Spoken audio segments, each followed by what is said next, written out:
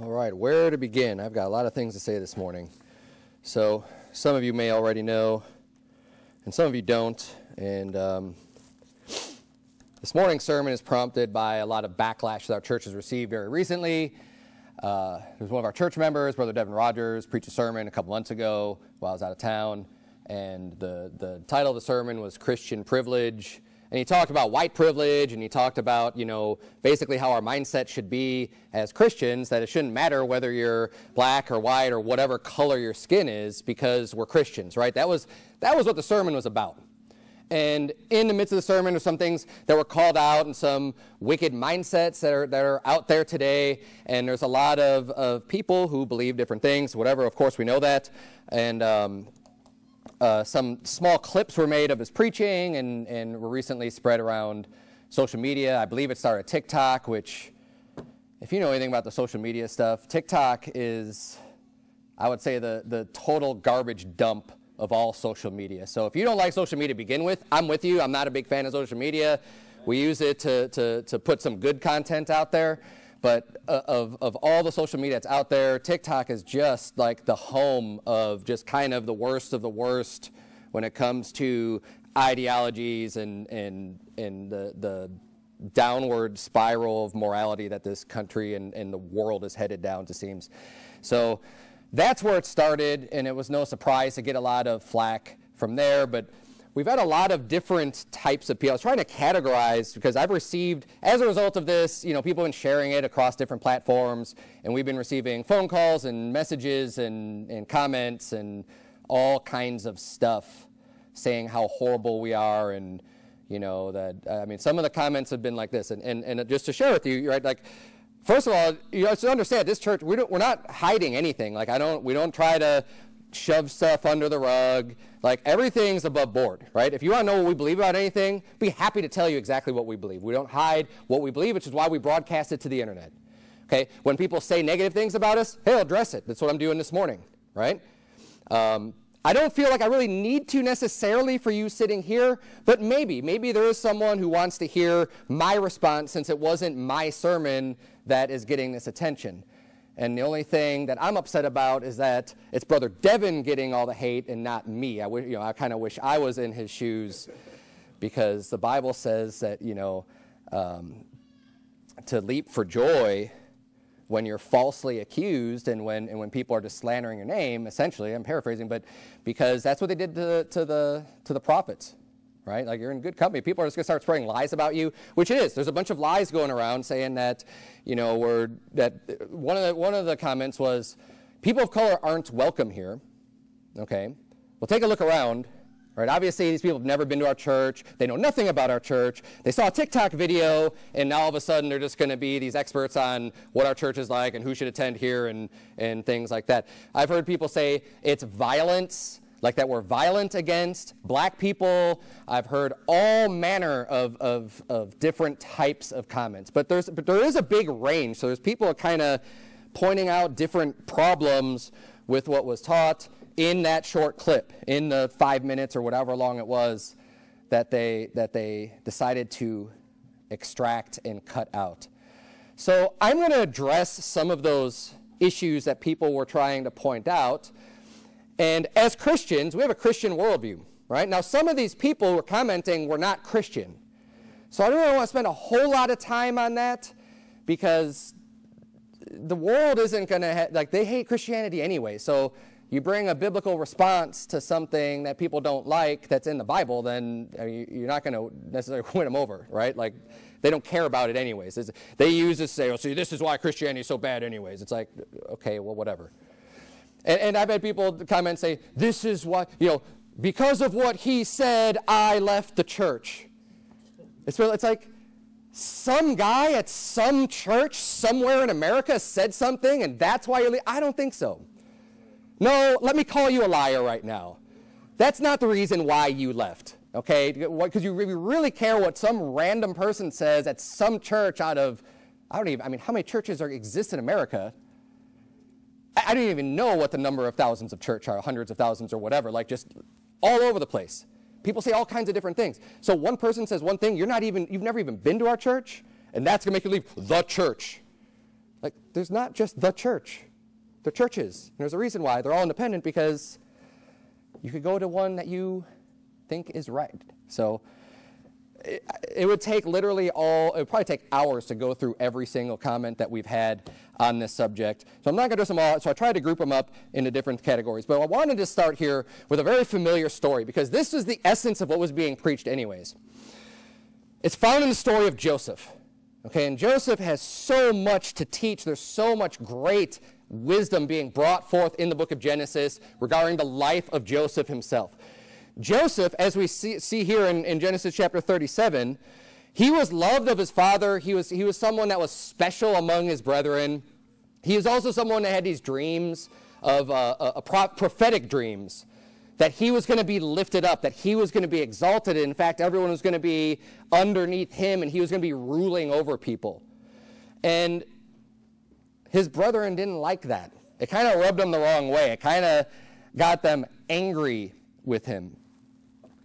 Now, there's many similarities and many prophecies that we could see in symbolism between Joseph and Jesus Christ himself, and that would be one of them, right? Jesus Christ uh, being ultimately the, the King of Kings and Lord of Lords, and his own people even hating him and putting him to death.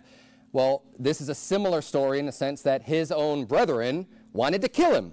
So they hated him so much. It wasn't just they, you know, they got annoyed with what he said. They hated him. Because you don't go trying to kill someone that you love or you're just annoyed with. They hated him. And instead of killing him, as we saw in the story, they decided, hey, how are we going to benefit from this? What does it profit us if we just kill him? So they decided to sell him into slavery.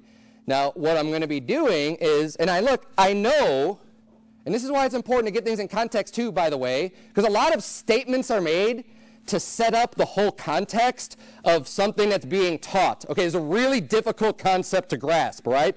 But I encourage you, if you hear something that you don't like, if you hear a sound bite out of someone's mouth, go and get it in context. If you really care about uncovering the truth and you really want to know what's being said, Get the whole context. Right. I literally had someone message or ask the question on Google, are you going to, you know, I, forget uh, what, what exact language was. It was, it was like rebuke or, or, or is Devin Rogers still preaching at your church and all this other stuff. Or are you going to, what? I can't remember the word. It wasn't repudiate, but essentially it was, it was that, right? Are you going to, are you going to say that that was wrong? What, what he taught. And I said, Brother Devin Rogers, my response was, he taught a sermon that was 100% against racism. So, no, we're not going to say that that was wrong. I said, Did you happen to listen to the entire sermon? Response, Well, I didn't listen to the whole sermon, but you need to do this, this, this, this, and you tell me what I need to do with our church. Okay, you didn't even listen to the whole thing. It's, it's, it's, uh, it's indicative of people who get triggered they get angry, they let their emotions take control. They're not interested in hearing anything. They're not interested in uncovering, well, what is the actual truth? What is the message? And let me ask you this. If you're going to listen to someone and hear, now, now, is everything that I say or anyone else for that matter says, is it always just going to be 100% said and stated perfectly? Especially when you're up here preaching for like an hour do you think everything that comes across my mouth is just going to be so eloquent, just perfectly stated? No, but do you think you could get the meaning and the context, like, like with the whole sermon, with the context of what I'm trying to say? I mean, you ought to be able to, right?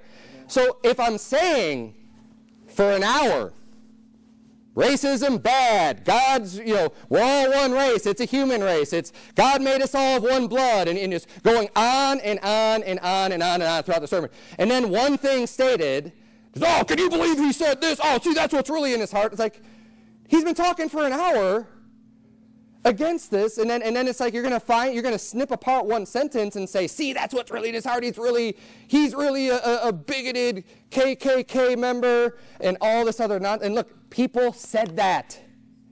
I'm not just making this up. This is what was said in the comments. in my messages, in the emails, in everything I've been receiving. I've been looking at this going, these people are nuts. They're nuts. And you need to be aware of that too if you're, if you're not already, right? That, that people are going to be trying to attack every word that comes out of your mouth, especially if you're trying to preach the Bible or just preach truth. Um, it's people are going to come and attack. So let's look at this story, and I want to draw some similarities to slavery in general with this particular story of Joseph because I think there are a lot of similarities that we could make between what happened to Joseph and what happened in this country with the Atlantic slave trade going back hundreds of years ago. Okay, we could see some similarities between these stories. And what we should do as Christians is have the right worldview on these things and have the right attitude on these things based on what's taught in Scripture. And that's the attitude, and that's what's right, and that's how we should view these things, and that's how we should move forward from these things, and that's how we should address these issues, is based on what's taught in Scripture. That's what Christians do. So to the non-Christians that want to ridicule and, and, and criticize what we believe, whatever. Right? I, I, there's nothing I can do. You need to get saved. You need to trust the Lord. Amen. Okay? I'm not going to argue over these topics with you. You just need to, you need to get saved. So let's look at what happened to Joseph here. Starting in verse number 23, Bible says, And it came to pass when Joseph was come unto his brethren, that they stripped Joseph out of his coat, his coat of many colors that was on him, and they took him and cast him into a pit, and the pit was empty, and there was no water in it. And they sat down, excuse me, to eat bread. And they lifted up their eyes and looked, and behold, a company of Ishmaelites came from Gilead with their camels bearing spicery and balm and myrrh, going to carry it down to Egypt. And Judah said unto his brethren, What profit is it if we slay our brother and conceal his blood? Come and let us sell him to the Ishmaelites, and let our, not our hand be upon him. For he is our brother and our flesh, and his brethren were content. Then there passed by Midianites, merchantmen, and they drew and lifted up Joseph out of the pit and sold Joseph to the Ishmaelites for 20 pieces of silver, and they brought Joseph into Egypt. So we've got multiple people involved here. We've got his own brethren capturing him and selling him off to slave traders, right? Now, from what I've learned in history, a lot of that happened also in sub-Saharan Africa in the, in the, the, the Atlantic slave trade, where a lot of people were captured and there was a lot of wars being fought, and the wars were fought literally to support the slave trade, and people were captured and were sold into slavery. That's a fact. That's what happened, right? From a lot of times amongst people who could have been near of kin or at least near in proximity to them, right? It's a fact. That's what happened. So I could see a little bit of a similarity here in what happened with one person versus what happened to groups of people. Uh, flip over to chapter 39.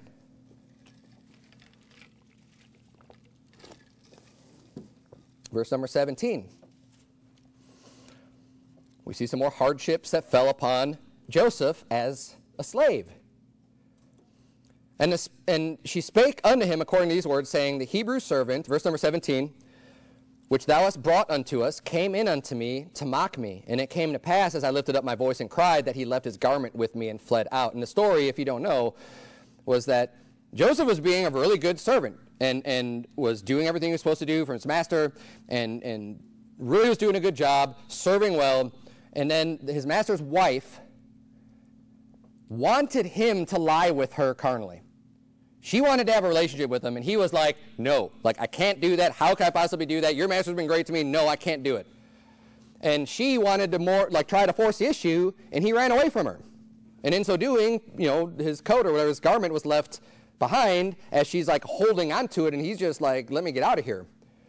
So then she turns around and falsely accuses him of trying to do something to her. And of course, he's found guilty and everything else. And it's, you know, even, even this very story and this very concept, if you're familiar with the story To Kill a Mockingbird, it's kind of the same thing, right? You had a, a, a, a black man. I, I don't know. He, I don't know if it, I guess at that time probably wasn't a slave, but it was still um, this this racist thing going on with someone who was oppressed, and then uh, this girl that was accusing him of doing something he shouldn't have done. Right? It's the same type of a story here that's happening. And look, people who are in this position, especially the slave position, it's going to be a lot harder to get justice. Right? When people are already looking down on you and using you in that way, of course, right? So this kind of makes sense. And it says that Joseph's master uh, or so verse number 19, and it came to pass when his master heard the words of his wife, which he spake unto him, saying, After this manner did thy servant to me, that his wrath was kindled. Well, of course, he's going to believe his wife, and you know he's going to get angry about it, right? And Joseph's master took him and put him into the prison, a place where the king's prisoners were bound, and he was there in the prison. Now, a lot of evil, a lot of bad things happened to Joseph. His brothers hated him and wanted him dead, but instead they sold him into slavery. He was serving as a slave and then was falsely accused and went to prison. And then in prison, he's still doing his best to, to, to better his situation. He still hasn't lost his faith. He's still trusting the Lord. God still blesses him. And then finally, he gets to this point where he's freed from jail, he's elevated in status, and becomes a ruler, right? He, he's no longer a slave. He's, he's been promoted, God has freed him, and now he's in a new position. But I want to point out, and turn if you would to Genesis chapter 50, is Joseph's attitude. Because this was one of the big points that Brother Devin was trying to teach, was the attitude about these things. Because we need to maintain a godly attitude about bad things when they happen. Because bad things happen. It's a fact. They've happened. They've happened in the past. They're going to happen in the future. And we need to maintain the proper attitude about these bad things as we move forward. And how are we going to learn that from Scripture? Well, let's take a look and see what Joseph did because Joseph was a godly man. Joseph never lost his faith. Joseph was elevated by God. And Joseph is this image or this representation, this picture of Jesus Christ himself. And we see in chapter 50, after their dad has passed. Okay? Now his brothers are worried because nothing has happened bad to them. In fact, when Joseph revealed himself unto his brethren, he's like, hey, come and live in Egypt. There's a lot of bad years coming. We'll take care of you. Everything will be great. Come, move, and be here. Be with us here in Egypt. So they all move there. Eh, but then it's like, well, wait a minute, though. He's probably just being nice to us because you know, he's, what could he possibly do with dad still around? But then dad passes on and they get all worried about it. And they're thinking, well, now he might come against us and get vengeance because of what we did to him. Right? So that's their concern. Verse 15 in chapter 50, the Bible reads, And when Joseph's brethren saw that their father was dead, they said, Joseph will peradventure hate us and will certainly requite us all the evil which we did unto him. And they sent a messenger unto Joseph, saying, Thy father did command before he died, saying, So shall ye say unto Joseph, Forgive, I pray thee now, the trespass of thy brethren, and their sin. For they did evil unto thee, and now we pray thee, forgive the trespass of the, of the servants of the, God, of the God of thy father. And Joseph wept when they spake unto him. And his brethren also went and fell down before his face, and they said, Behold, we be thy servants. And there's that ultimate fulfillment of his dream, right? I mean, they're falling down, and he's standing there and say, We be thy servants. But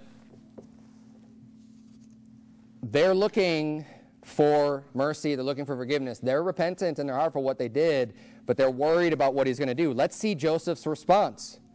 Is he bitter? Is Joseph saying, Yeah, you know what? Too bad.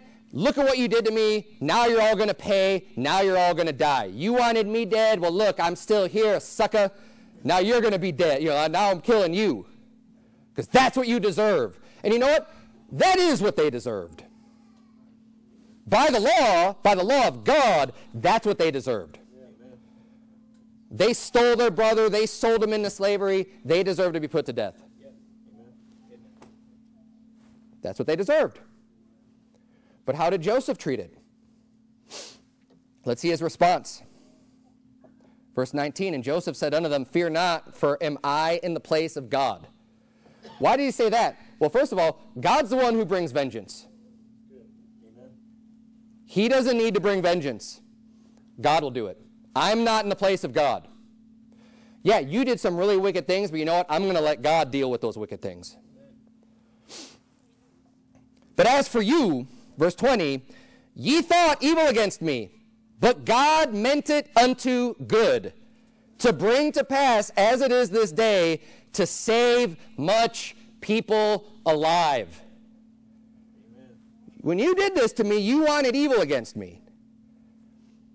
But what did God want? God brought good out of it.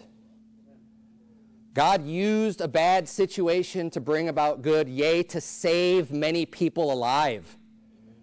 Many people lived as a result of the suffering and the enslavement of Joseph. Why is it such a stretch? Why is it so terrible of a thing to say that in the United States of America, when the slave trade was going on, some people suffered really bad things being enslaved. However, God was able to use that to bring a people to Christ and save many souls alive. Amen. Why is that a terrible? I don't I still don't understand that. People have this kind. This is what people are freaking out about. This is one of the things that people are freaking out about. They'll say things like, "Oh, so you think that the you know you need to enslave people to get them saved?" No, I don't. That's not what's being said. You think that, well, don't you know that the gospel was in Africa way before it ever came into Europe? Like, yes, yes, I do know that. I am well aware of that. We're not making any argument about that. Not even close. You need to learn real history. You don't know your facts. You don't know anything. You don't know what you're talking about. You're not listening to what the point is being made in the sermon. You're not getting it in context, especially, and you're just making claims. You know, people make these claims. Don't do that, by the way. Don't start uh, making assumptions and making claims about people that you have no idea about. You know, people always want to know, you don't know this. How do you know what I know? How do you know? You can't just make the claim to the world, you don't know. That, you're like, okay, do, do I not though? Really? Do I not know that? You're missing the point, is what the problem is. It's not that I don't know history, it's that you're missing the point. And, you know, here's some history, and you know what? This matches up perfectly with everything I've already believed and Brother Devins believed and, and whatever. But I'm going to read this because people are saying, oh, don't you know the gospel was around? It was well around. But you know what? For 1,500 years, why are there then still all of these uh, heathen tribes and heathen people worshiping false gods? Yeah, there are other ways for people to get saved, absolutely. But what happened? There's still tons of tribes that are not Christian at all. Does that mean there were no Christians in Africa? No, of course not. Yes, there were Christians. And yes, some of those were enslaved and brought to America too. But see, Brother Devin didn't go in depth on all those things because it didn't matter to the point. The point is that some people, out of a bad situation, God brought good just like he did in the story with Joseph. But here's a brief history, again, to answer the critics that want to, oh, you don't know your history, and this, that. I do know my history. Okay? Maybe you don't know your history. I know where Egypt is. And you know what? By the way, Egypt isn't a good place in Scripture. I've seen people trying to say, like, oh, well, Joseph was informed to bring Jesus into Egypt. So that, like, like that's somehow just makes Egypt a great place? Because he was trying to avoid him from being killed by Herod when he was a baby. Like, th- th- how does that make Egypt a good place? Now, look, I'm not saying that because Egypt was a bad place, that that means black people are bad, or that means Africa's bad, or that I'm not. But see, that's what people will do. Oh, so you should. No. Egypt is representation of the world. Egypt is historically uh, anti God and, and against the things of the Bible. Absolutely. And that's how the Bible uses it, especially symbolically. And that's where, and that's it. And that's it, right? So, I'm going to read this for you a brief overview of black religious history in the, in the United States. It's from Pew Research, okay? And this probably won't come as a shock to any of you.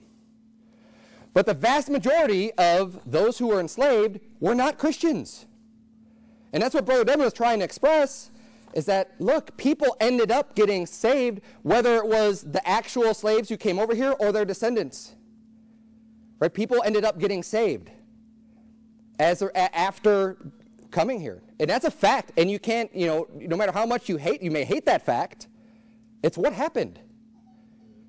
And we look at that and we say, wow, this is really similar to what happened to Joseph.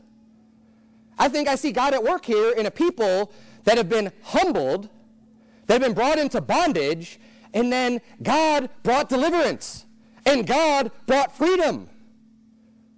And now that's like a bad message, apparently. Here's a secular article that reads Two thirds of black Americans are Protestant, like about four in ten Americans overall. The relationship between black Americans and Protestantism is unusual due to the history of slavery and segregation, which spawned the creation of several black led denominations that allowed black Americans to worship freely. Most, mostly founded prior to 1900, these historically black Protestant denominations also supported colleges and helped black communities in other ways. The faith of Christianity was helping these people that were oppressed to be able to get resources and, and things to help them grow. Right? First of all, that's kind of interesting. At the same time, Protestantism alone does not define the black religious experience in the United States. Of course not. Before enslaved people in America began converting to Protestantism in sizable numbers during the 1700s, they commonly followed traditional West African religions or Islam. That's history. That's a fact. Before they were enslaved and brought here, they tradition before they converted to Protestantism, they maintained their West African religions or Islam because they were both major groups of people that were enslaved that came over here. Catholicism, too, has long had a presence among black Americans, including in Maryland, Kentucky, and Louisiana during the slavery era. And in the early 1900s, Islam began attracting thousands of black Americans with the message that Christianity, like America writ large, had failed to offer them equality. What follows is a brief account of black religious history in the United States with an emphasis on efforts by religious groups to deal with racism and its effects. When they were first captured and taken to America, some enslaved black people were Christian. More were Muslim. So this is what I'm saying. Some of them were Christian, absolutely. No arguing that. More were Muslims. So more people than were Christians were Muslims. But the largest number by far were followers of traditional religions common in West Africa at the time. Many of these African belief systems included a supreme, distant God who created the world in a pantheon of lower gods and ancestor spirits who were active in daily life. Now, if a person, regardless of their skin color, subscribed to this religion that's being described here of a, of a common, that by far was, was the most common of those that came over here, if they subscribe to that and they held to that belief till the day they die, where are they going when they, when they died? They're going to hell. Where they're going to suffer way worse things than being enslaved here on earth. Because you're literally burning and being tortured and tormented for eternity. I could understand where people might get upset that don't even believe hell is real. But if you believe hell's real, and that the people who are practicing these religions, unless they find Christ, hey, that's where they're going to end up. Now, look, I know that Christians, evangelical Christians, lived in Africa at the time. But this happened.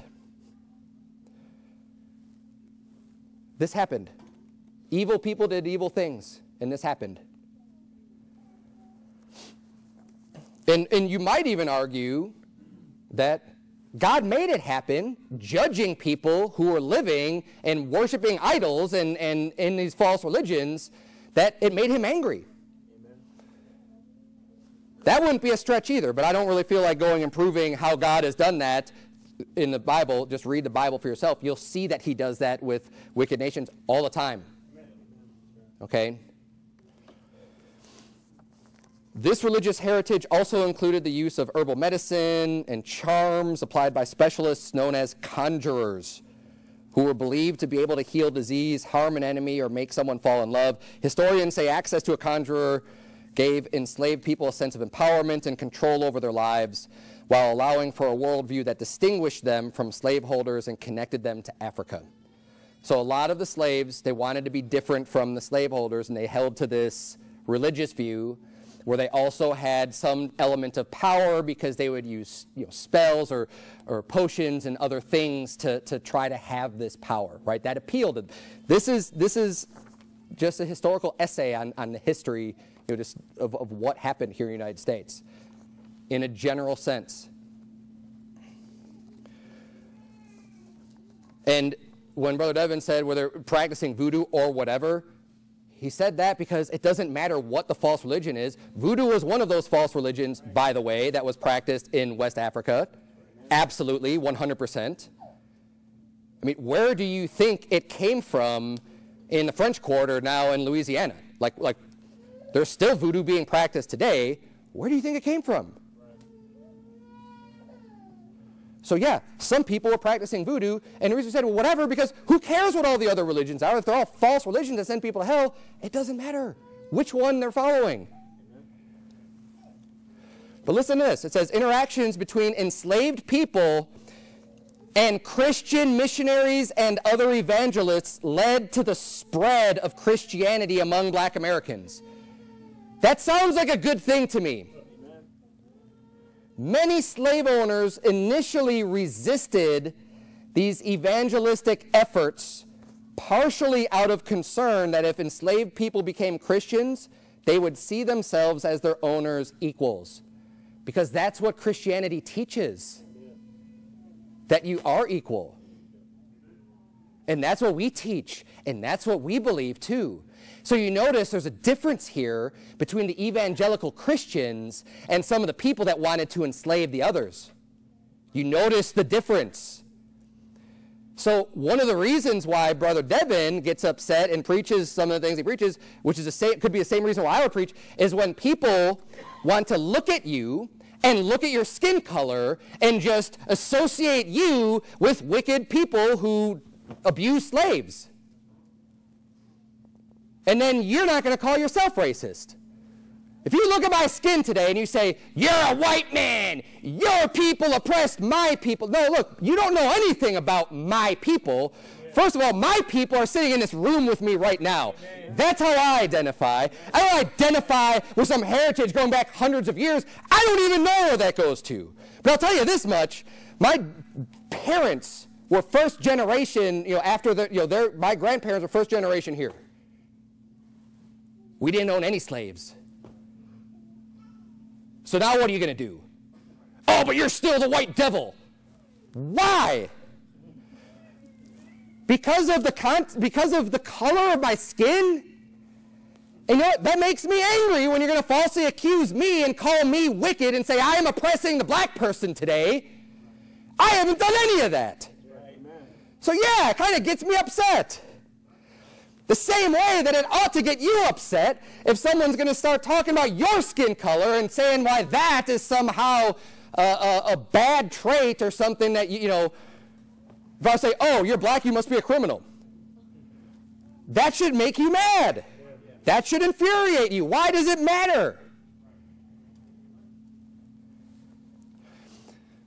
And Christians were around in this country because they fled their own persecution to help found this country, which is why this is a Christian country. By the way, learn your history. The people who were doing the most works for God over, the, over across the ocean fled and came here because they were being persecuted. So you have a lot of people that fled and sought refuge from persecution who wanted to preach the gospel. And they came to this country And then they found the fields white on the harvest with all these slaves that were brought over that knew nothing of Christianity, or maybe they did know and they were, you know, whatever. There's all these people that were not Christians. And they're helping them to come to Christ. That's a good thing.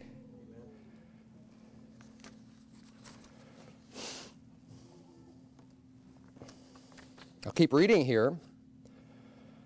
By 1706, this fear by slave owners had spurred legislation in at least six colonies declaring that an enslaved person's baptism did not entail their freedom. So, yes, people in charge and people in power were freaking out about this, some people at least. Not everyone, by the way. There was a battle, there was a struggle, there were people who fought on, on different sides of the issue of all colors also, by the way. Because many of the people who delivered the slaves from Africa were also black themselves. Just in case you didn't know that. They weren't all just the white colonizers doing it. They weren't. Now, you could say they were incentivized by the money of the white man, maybe okay, but they still were involved in the, in the capturing and sale of slaves, just like Joseph's brethren were. It's a fact. And some people here, they didn't like that now these people are getting saved and they're getting baptized and they're thinking that makes them free. Like, oh, hold on a second there, right? So, yeah, we know there's a history of this stuff. And, and yes, it ought to be taught against. Sure. But why is it so bad to say that God brought some good out of a bad situation?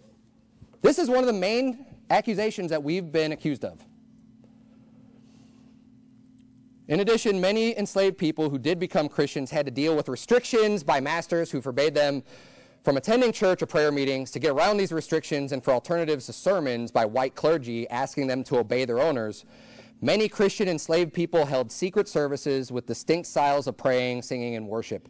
These services were typically held in their cabins or in nearby woods, gullies, ravines, and thickets. Historians say the biblical story of the Israelites escape from Egypt provided a good deal of inspiration to the enslaved people. Yeah, for good reason. This was reflected in coded lyrics to some of their religious songs or spirituals.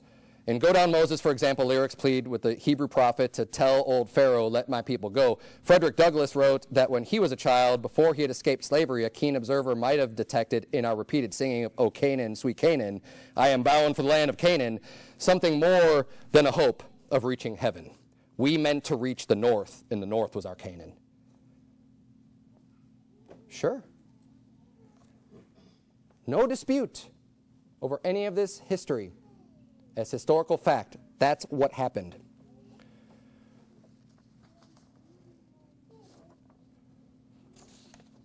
I have a little section here on voodoo and stuff, but it really doesn't matter.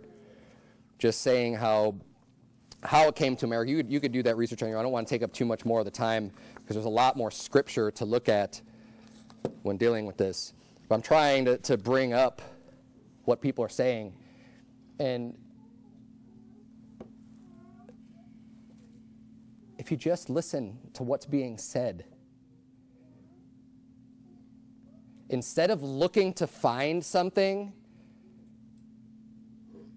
and, and, and you already have your mind made up and you already want to find a racist, yeah, well, you're not interested in the truth then. And unfortunately, that's a mindset in some groups and in some areas that is being taught to children. There's some black communities that are teaching their children hey, don't trust the white man. Watch out for the white man. The white man is why you're being oppressed. The white man is why you don't have anything good going for you. The white man is the cause of our problems. You tell me that doesn't exist. It absolutely exists. The same way you've got groups of white people saying, hey, the black people are bringing us down. The black people are the reason why our country's decaying. The black people are the reason why, you know, it exists. And it exists amongst people in general. You could find the groups that do that very thing, and you know what? They're all called racists. Racist, the historical, normal definition of the word racist, where someone's going to judge uh, uh, another person based on the color of their skin. If you're going to be uh, have, having your, you know, any sense of value determination based on someone's skin color, you're a racist. It's that simple. But these days, the, the woke people who like to make stuff up, by the way, like to change definition of words. I literally had someone tell me when I was out soul winning back in, in, uh, in Macon, when we did the Macon soul winning event, ran across these crazy people that were saying that, because they, they, were, and they were saying racist stuff to me. I'm trying to preach the gospel, and they keep on bringing up the color of people's skin. I'm like, why do you keep talking about this? I want to show you how Jesus Christ, you know, and, and they just would not get off of it. And I said, you know what? You're racist. And they said, no, I can't be racist, all this other stuff, because they, they, there's this, this definition that people are adopting, some people are adopting, that racism means prejudiced plus power. So if you don't have any position of power at all over anyone else, then you can't be racist. And what they argue is say, well, see, black people institutionally are not in power because there's way more white people in government and in position of power than there are black people, so black people can't be racist. Stupid definition. What happened to I have a dream? That mentality. Look, I'm not for Martin Luther King Jr. in general. He's a guy's a false prophet and did a lot of wicked things. But I am, I am okay with the sentiments that he made, at least in that speech. There's, I'll read these for you. And this was, I think this is spot on. He said, I have a dream that one day on the red hills of Georgia, the sons of former slaves and the sons of former slave owners will be able to sit down together at the table of brotherhood. I think that's a good thing. But some people, I think, don't want to have that happen. There's some people out there that just want to cause division and cause fights and want to find any reason to find racism or to find people I hate. It just, that's what they're looking for. And partially, probably because they've been ingrained with this for a long time in their head. Another portion of that, which is even more famous uh, line I have a dream that my four little children will one day live in a nation where they will not be judged by the color of their skin, but by the content of their character. I think that's good. It's a very good thing. That's, that's what we ought to be judged is the content of your character, not on the color of your skin. I don't really see that being promoted today in many groups that are, that are out there, and, and many people have kind of gone the opposite direction. Yeah. It's, it's kind of astounding to me that there's groups of people and people of color, black people, who are pushing for segregation. We want to have separate college ceremonies. We want to have separate uh, whatever. I mean, you, you name it. We want to have all of this stuff just for us. So I would ask, who speaks for all black people? Can I, like, like, is that person exist? No, they don't. But you know, the people that are that have been sending all these messages, they want to tell the black people in our congregation what to do. You should all. You don't speak for all the black people. Sorry. Just like I don't speak for all the white people. Nobody speaks for an entire race of people. It's ridiculous. But yeah, they use that, they use that uh, definition instead of saying, look, it's not about the skin color. I mean, I was literally, and, and, and I'm not even saying that what I've experienced is the same level of racism that someone else might have experienced, right? So, have I really been oppressed? No. But have I experienced racism? Yes. Against me? Sure, I have. I had someone in, in South Phoenix and, and it's no surprise, it was in the area, area where uh, uh, Louis Farrakhan had a house. You know where that is, Brother Caleb? You know where that is, Solomon? It's, uh, it's over, like, oh, I forget exactly, maybe 20th Street. There's a, there's a neighborhood just north of, uh, of like Baseline or Southern. And, and anyways, it's, it's funny because it's not in the best neighborhood, but then like you could see his house is just like totally guarded and he's got these high fences, he's got a security guard and everything else. Anyways, I digress.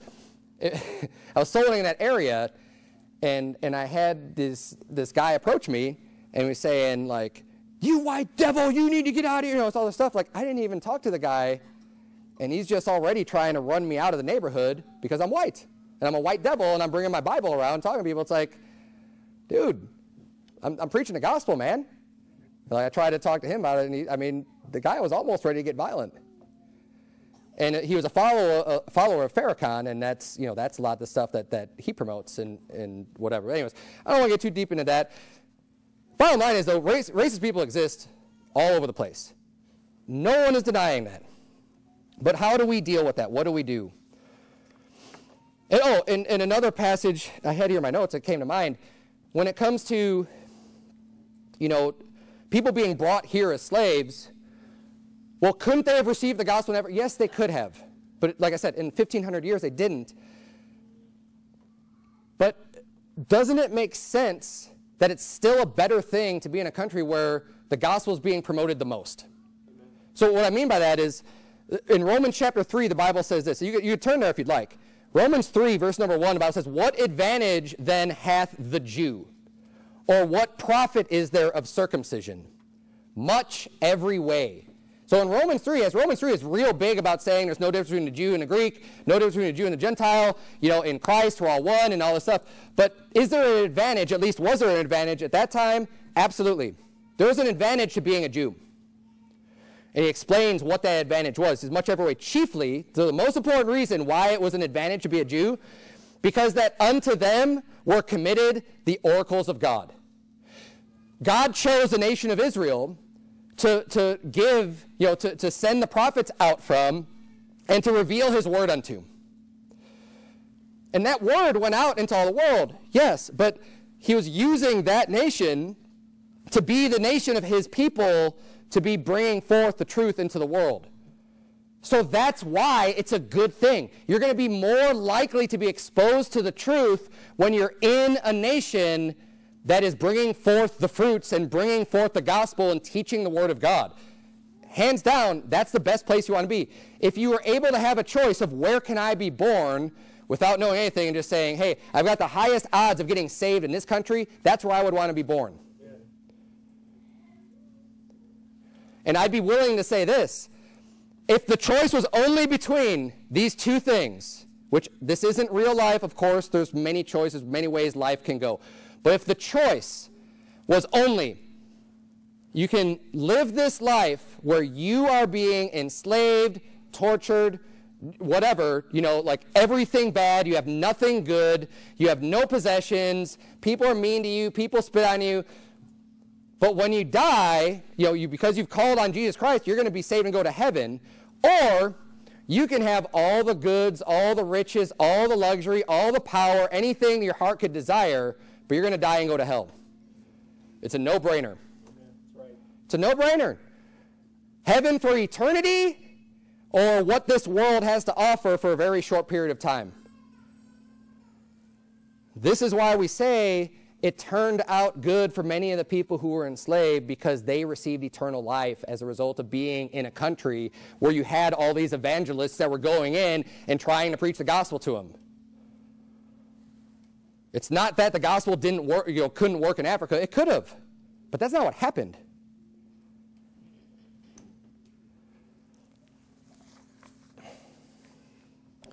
Jump down to the verse number 7 because this is another thing that's where people are, are slandering us on a lot of things. Look at verse number 7 the Bible reads, For if the truth of God hath more abounded through my lie unto his glory, why yet am I also judged as a sinner, and not rather as we be slanderously reported, and as some affirm that we say, let us do evil that good may come, whose damnation is just. So, what were they saying about the, the apostles or about Paul? Because God provides salvation, and because he's saying, look, if, if the truth of God is still abounding even in spite of the lies or whatever, does that mean, you know, if God uses bad for good, essentially, does that mean that we should just do a bunch of bad so that good can come? It's very similar to Romans chapter 5 that talks about, you know, where sin abounded, grace did much more abound. So should we just keep on sinning to bring in more grace? No, God forbid. So the same way here, even back then, you had people slandering and saying that, oh, they're saying that in order for these people to get saved, they need to be slaves and they need to. No, that's not what we're saying. But people are literally saying that to us. That's what you believe. So in order for these people to save, they had to just become slaves. No. So we should just enslave everybody so that they could be saved. No. But look, that's the way it was back then, and that's the same thing that people are doing today. Just completely abusing and misstating what we believe. And for what benefit, I don't know. What then? Are we better than they? No, and no wise, for we have before proved, both Jews and Gentiles, that they are all under sin. As it is written, there is none righteous, no, not one. And I'll say this too be careful with the words that you use, and you start accusing people of stuff, you better know what you're talking about. And the more people throw around words, like one of the words that's been thrown around now for a long time is Nazi. When you start applying labels to people that have nothing to do or even look like anywhere close to the people you're trying to call them, you are cheapening that word and making it meaningless.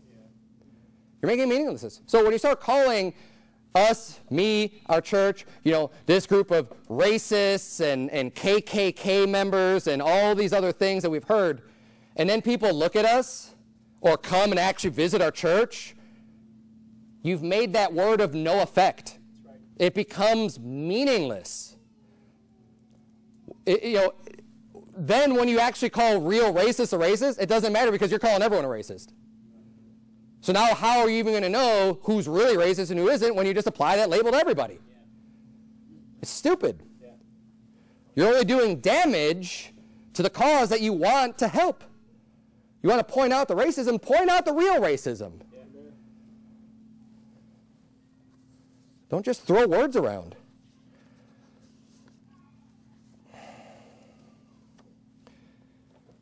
You know, our identity, turn if you go to 2 Corinthians chapter 5, and I kind of brought this up before.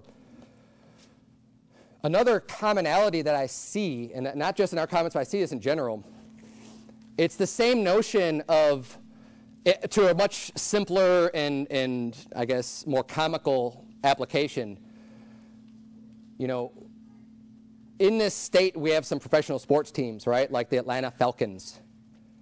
And when they play a football game, oftentimes people will say, We won! Right? Because they're identifying themselves with the football players that played a game where they won the victory, right? Now, I don't care if people say that. It's not like a big deal.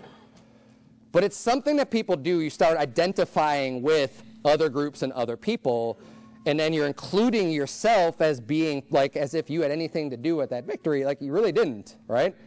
I think the players won the victory, like you didn't, right? They trained and put forth the effort and played the game and, and, and won. Like you really didn't add anything to that. But to, on a more serious note, people do that also with their heritage, and they associate themselves with people who lived in the past and going back many, many, many years, right? And this is where people start getting in, where I see the problem, where it's your people, right? So, uh, like I was saying earlier, oh, I'm white, so your people did this to my people. And if you say anything about slaves, it's how dare you say that about my people? And they're, and they're, and they're associating themselves with this group and then taking it personally and then getting really triggered and really upset because it becomes impossible to have a discussion about things that happen in a truthful manner about people that now all of a sudden you say, well, this is my people, so you're saying that about me. No. So because they got enslaved and they, you know, so you're saying I got to be enslaved? No. We're talking about the facts. We're talking about things that happened, right? We ought to identify as Christians, at, since we are Christians. And, you know, the color of your skin and, and associating with your, your physical heritage, that's the flesh. Why do you want to identify with the flesh? I mean, my heritage, I like, I, I'm not a Latvian American, even though my grandparents are from Latvia. I don't consider myself a Polish American because the other side of my family is from Poland. I just consider myself an American because this is where I am and this is where I was born. And on the same token, I don't see people as African American. You were born in this country, you're in this country, you've been in this country for, you know, your generations have been in this country, you're an American. I don't see Christians as like, like there's, there's a group of Messianic Jews. Why are you Messianic Jews? Why aren't you just a Christian? Like, why do you have to have all these differentiations? It's, you know, it's like, look, once you're saved, once you become a Christian, that's who you should be as a Christian. Because everyone that's saved in this room, we're all brothers and sisters in Christ. Amen. Regardless of what tone you have on your body. 2 Corinthians 5:17 says, "Therefore if any man be in Christ, he is a new creature. All things are passed away; behold, all things are become new." All things are become new. You're a new creature. You, have a, you are a heavenly person now. Your home is in heaven. You ought to view things different. You don't need to cling to all this other stuff, to the heritage of the past. Why do you want to cling to a voodoo religion? Why do you want to cling to, to multiple gods or some other history that you've had? Cling to the truth. Cling to the Word of God. Cling to your salvation. Cling to the things of God and move forward with a new, fresh mindset.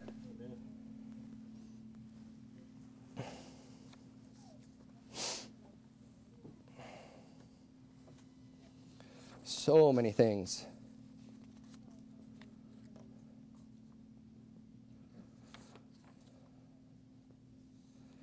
And, uh, turn, if you would, to Titus chapter 3. I'll close on this. It's, it's already been a while now. I've got, I've got plenty of other points that I wanted to bring up, but and these are all the comments from like a few minutes that was preached. So I'm kind of, if you could believe that. I'll throw these things out there without just completely fleshing them out. Probably get in trouble for that. But I, I just think it's interesting too, you know, with the generalizations and people that want to say, your people, my people. Well, was every white person in this country a slave owner and believe in slavery in the past? Is that true? So, how do you know if my ancestors owned slaves or not? How do you know if my ancestors actually didn't fight to free slaves? Because uh, I'll let you in on a little secret. There wasn't this huge revolution of the slaves overthrowing the authority and, and, and fighting for their freedom in that regard. That didn't happen. Instead, there were a lot of white people that fought for the emancipation of people who were in bondage and in slavery. And people like that existed going all the way back through the colonies and all the way through to today. So you can't just look at someone and just think you know their story and think you know anything about them the same way that many people are getting offended. You don't know what I've been through. Brother Devin said, hey, get over it. Amen. And you know what? I say amen to that too. Get over it. I don't know what you've been through, and you don't know what I've been through. But you know what the Bible teaches is to say, hey, get up right? If you fall, get back up again and keep and just serve the Lord in whatever position you're in and wherever God has placed you. Be content with what you have and move forward and serve the Lord. And get over it and stop murmuring and complaining over all the injustices that have been done in the past. I'm not saying don't fight injustice. I'm just saying don't be sitting there complaining about it all. Get over it and start moving forward and do something. But it makes a lot of people feel really good about themselves to just try to tear down everything they see on the internet. Get over it. Do something. You don't need reparations. Which that's a whole other topic. How, how would you even go about doing it? Like I said, how would you know what, what side of the fence people were on? going all the way back to when bad things happened to people. How could you possibly know that? I mean, I could say, hey, I'm off the hook. My, my, descendant, my ancestors weren't even in this country during that time. And, and today of all time, and this is why this is appropriate for today. I believe this anybody can be successful, if you even just talk about the world's definition of successful in this country today. I don't care where you're from. First generation immigrants that come here with nothing can make their way and earn a living and do well. So to say, get over it, get to work, and stop complaining about things and stop looking for handouts and just get to work. Amen. I don't care what color your skin is. And maybe there are people out there, and I'm sure there are, that may not want to hire you because of how you look. That's the way the world works. We can preach about it being wrong and everything else, but you know what? They're going to be out there. And you, instead of spending your time complaining, complaining, complaining, how about you just go and, and find some other work then? In this country, there's plenty of work to be had. That's right, amen. You'll find something somewhere. You definitely, or else you're not looking. I had you turn to Titus 3 9 because, you know, at the end of the day, our ancestry and stuff like that, it doesn't matter. The Bible says in Titus 3 9, but avoid foolish questions and genealogies and contentions and strivings about the law, for they're unprofitable and vain. Avoid your genealogy. Who cares? Who cares what your ancestry was? So, uh, 1 Timothy 1 4 says the same thing. Basically, neither give heed to fables and endless genealogies, which minister questions rather than godly edifying, which is in faith, so do. That's what the Bible teaches. Don't worry about the ancestry. Don't worry about the carnal and the physical stuff. John the Baptist taught to the, to the Pharisees who were trusting, and because we also had some black Hebrew Israelites commenting as well, so I'll throw this one out there. Again, and I talk about a racist group. I mean, it's just all about the race to them, it's all about the color. It's insane. And trying to talk sense to them is, is almost like a fool's errand. It's really, really difficult. I mean, it's really hard. It, it's, yeah. But, you know, John the Baptist said this, bring forth therefore fruits worthy of repentance and begin not to say within yourselves, we have Abraham to our father, for I say unto you that God is able of these stones to raise up children unto Abraham.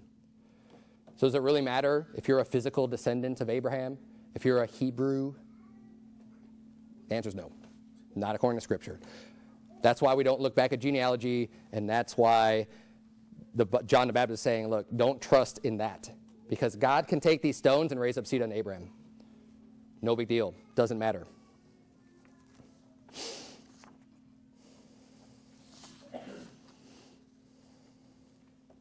I'll close with Hebrews 13. Verse number five, the Bible says, Let your conversation be without covetousness, and be content with such things as ye have. For he hath said, I will never leave thee nor forsake thee, so that we may boldly say, The Lord is my helper, and I will not fear what man shall do unto me. That's the mindset that we ought to have. Let's be content with such things as we have, right? Wherever you're at, be content with that. And knowing God's never going to leave you or forsake you. That's comforting. So if you have nothing, God's still there with you. That's a great message. That's good news. I can be content because I know that God's still with me, and that we may boldly say, Hey, the Lord is my helper, and I will not fear what man shall do unto me. Just move forward and serve Christ. Don't look to serve your belly. Don't look to serve, you know, serve Christ. That's what we're called to do. And you know what? We can all join together in a common goal, which is what we're doing here in this church, which is why I, I, I you know, posted that picture up yesterday to, to, our social media, to Facebook, just to show people, look, we're unified here. Amen. People said, oh, I can't believe they said this in front of black people. Like, yeah, and you know what? I'm saying this today in front of black people, in front of brown people, in front of white people. Front, I mean, No, no one has gotten up and walked out. You're all scared, right? That's, that's what it is. That's what it, ah, see, I know. Or, and, and this is, I, I actually responded too because here's the thing. It, it's funny when, when people want to say all this stuff. And I mentioned, hey, we've got plenty of people. I mean, we have a huge, diverse church here. And, and, but here's the thing, like, we don't have to. It, it doesn't matter. It doesn't matter, right? We happen, we happen to have a great, but what if we lived in an area that just wasn't very diverse? I think the reason why we have such diversity here is because Gwinnett County is super diverse. Yeah. Mm-hmm. It makes sense. What if we lived in an area that was only white people and we just had a whole bunch of white people in church? Well, does that matter? What if you live in an area where there's a whole bunch of black people and you just had a whole bunch of black people? Does that matter? No. Who cares? It doesn't matter. But the point I was going to make was this is that, you know, people are saying, oh, black, because this is, goes to the point of speaking like for all black people. Oh, those black people should all get up and leave. So what if they don't? Does that mean they're stupid? They don't see what you see. I mean, so like, th- does that make them? Are they ignorant? What does that make them? Or are they racist too? I asked that question, and it's just like, they don't want to answer that. No one wants to answer that. No, people can actually have differing views, and you don't have to speak for everybody. And you know what? The people here that aren't walking out, it's because they listened to the whole sermon and they understood what was being expressed. Amen. I mean, I, I think the church speaks for itself. If we're a racist church, then show me one that's not. right? I mean, who are we racist against? Yeah, yeah, yeah. We're a racist church, but like we're just full of all different colors of people. Okay, sure. Yeah, that's reality. All right, let's bow our heads, have a word of prayer. Dear Lord, we love you. We thank you so much for the great truths in your word. God, I pray that you please help us to, to grow. I pray that you please help us to reach the lost. I pray that you would please help us uh, to use our brains and to, and to seek out a matter and not answer a matter before we hear it and that we would get the context in which things are being said always, Lord, even with people that say things that we don't agree with or they're contrary to us, dear Lord, that we wouldn't jump to conclusions or make false assumptions or just think that we know everything about someone else. We, when we don't, dear Lord, I pray that you please help us to uh, be rational, be reasonable, to use our minds to hear out a matter and um, Lord, help us also just to be clear when we preach your word and that uh, there is no misunderstanding of, of what's being taught. And especially, Lord, please help us to preach your word in truth. And God, we love you. It's in Jesus' name we pray. Amen.